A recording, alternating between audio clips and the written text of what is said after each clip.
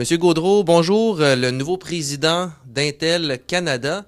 D'abord, euh, je suis tenté de vous demander quelles sont vos grandes priorités à titre de nouveau dirigeant d'Intel euh, pour le pays.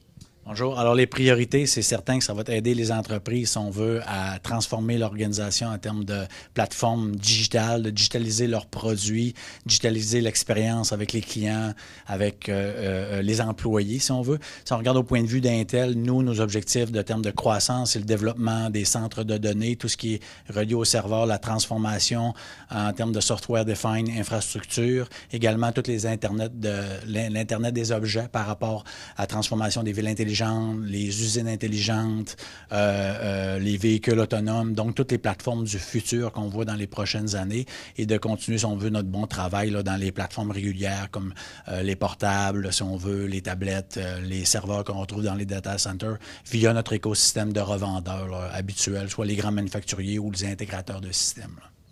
Donc, le, PC qui est un petit peu en perte de vitesse, qui était autrefois le, moteur de la croissance des revenus d'Intel. Donc là, si je vous comprends bien, c'est plus l'Internet des objets, la réalité augmentée et les centres de données qui vont euh, être le moteur de la croissance d'Intel pour les années à venir. Effectivement, parce que lorsqu'on regarde aujourd'hui tous les, équipements qu'on va utiliser, beaucoup de l'intelligence de l'information qu'on va recevoir va être traitée dans les centres de données. Avec l'avènement des Internet des objets, on va encore multiplier ça par 10, par 20, par 50. Donc, euh, euh, la, la, demande sur le réseau, sur les centres de données va être beaucoup plus grande que ce qu'on connaît aujourd'hui.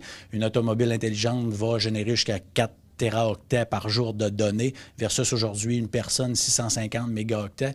Donc, beaucoup, beaucoup plus de données qui doivent être processées, donc ou en termes de calcul. Donc, c'est clair que la demande dans les centres de données va être très grande par rapport à aujourd'hui. Et quelles sont les particularités du marché canadien, donc celui que vous allez chapeauter avec votre équipe de 900 employés environ à travers le pays? Quels, sont, quels, vont être vos grands objectifs pour le Canada?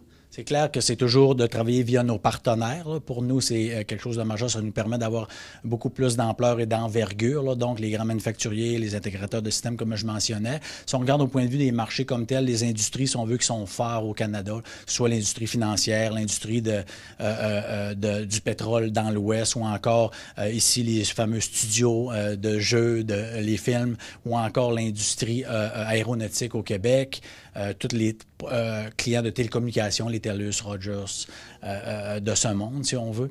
Et donc, ça, c'est des marchés vraiment en croissance pour nous et des marchés importants. Mais bien sûr, le marché canadien est un marché de petites et moyennes entreprises. Donc, ça également, c'est un marché qui est très important pour nous et via notre réseau de revendeurs, si on veut qu'on va attaquer ce marché-là. Merci beaucoup, M. Gaudreau. Merci, ça fait plaisir.